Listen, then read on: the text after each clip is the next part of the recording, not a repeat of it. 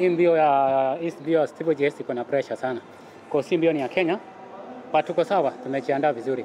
Kwa hit yangu nilikuwa tu nakimbia ku qualify kwenda final, but uh, final itakuwa na tutakuwa tutakimbia vizuri.